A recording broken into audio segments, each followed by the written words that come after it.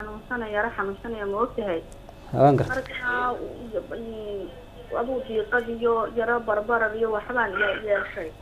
Haye marka dhaktar baan tegay adigu diiqadii wixii markaan dhaktarka tegay way iga digi weyday markaas islaan yaroo habara baa tiri.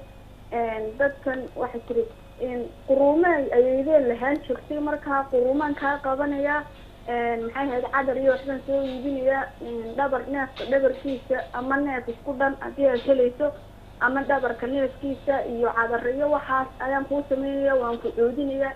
Marka waxa aan ayeydeen lahaan jirtay baa ku haya.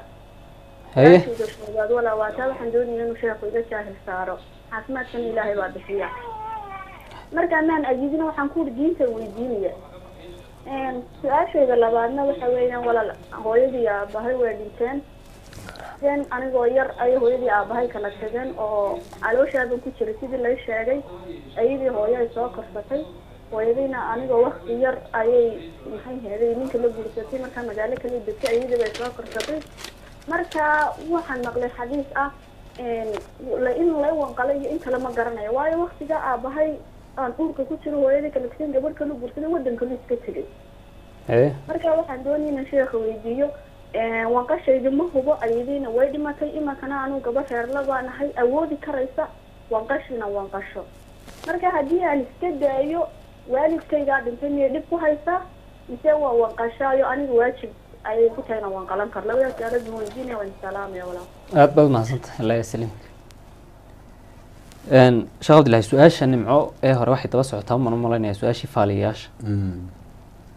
Ha waxay ku saabsan tahay waxaan dadkeena u yaqaaneen cuudiska. Horta qurumaha la sheegayaa iyo wadaadada iyo waxyaabaha noocaas waa jin. Cuudiskana haddaynu soo ururino macnihiis waxa weeye waa laaluush la laaluushayo jinka islamarkaana la magan gelayo jinka markaa in la magan galo oo dhibkooda iyaga laga magan galo ama qaar kamida laga magan galaa waa dhaqan jiray fi ljaahiliya mushrikiintu ay samayn jireen. Ilahayna qur'aanka uu ku sheegay waanahu kaana rijaalu min alinsi yacuuduuna birijaali min aljin fazaaduuhum rahaqa. Ilahay wuxuu sheegay in cidda jinka magan gasha ama laaluushta aanay waxba ka faa'iidahayn way ka sii darayaan oo jinku uu arintaa kibir ka qaadayo iyo tacadi fara badan qofki inuu ku sameeyo.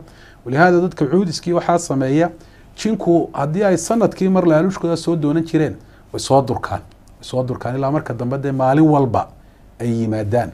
Waxaa dhacda in wax loo gowraco iyadoo lagu weyneynayo ama lagu laalushayo. Nebiguna calayh salatu wasalaam wuxu uhi lacana allahu man dabaxa ligayr ilahay ha nacdalo qofka ilahay cid u gowraca waxaa loo gowracayna waa neef baktiya oo shirkina oo ilahay cid loo gowracay. Marka haddii qofku diiqadii waxa uu dareemayo dikriga ilaahay ha farabadiyo iyo qur'aanku akhristo isaguna isku tufo. Iyo sidaasoo kale in dee uu dadka qur'aanka yaqaana uu yidhaahdo igu akhriya laakiin jinka ayaan lamaga la magan gelin ilahay ha laga magan galo subxana wa tacaala.